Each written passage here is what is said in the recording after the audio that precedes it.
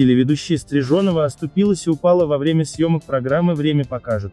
Екатерину Стриженову срочно увезли в больницу, где диагностировали перелом. Теперь звезда вышла на связь с поклонниками с хорошими новостями.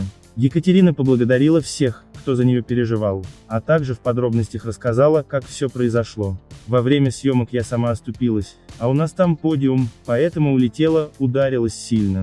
Основной удар пришелся на руку, она сильно распухла, отметила Стриженова.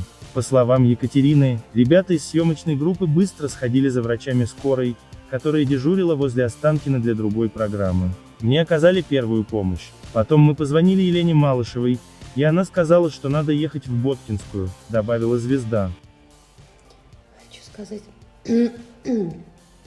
что я живая, проходила после наркоза. Очень много людей звонит, пишет, просто физически не могу всем ответить, но спасибо, что вы беспокоитесь. Вот вчера со мной случилась такая катавасия, я упала в нашей студии, оступилась, просто оступилась, у нас там подиум, и, и улетела, а, ударилась сильно, попой, и головой, но основной удар пришелся на руку. И она сильно распухла прямо на глазах. Прям голова закружилась от боли. Наши ребята молодцы, не растерялись. Они привели врачей из скорой, которая дежурила возле Останкина для другой какой-то, даже не знаю для какой программы. Вот. И мне быстро оказали помощь, и врач говорит, мы можем отвезти вас в травмпункт, но видно, что серьезный случай, поэтому лучше показать специалиста.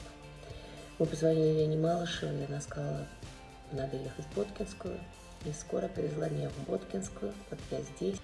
Рентген показал, что перелом сложный, нестандартный, со смещением, с осколками. И врач сказал, что надо делать операцию и ставить пластинку. И все уже теперь, слава богу, позади. Только что сделали первую перевязку. Доктор сказал, на скрипке играть не буду, но на пианино смогу. Подписавшись на канал, следите за выходом новых видео и оставайтесь всегда в курсе событий.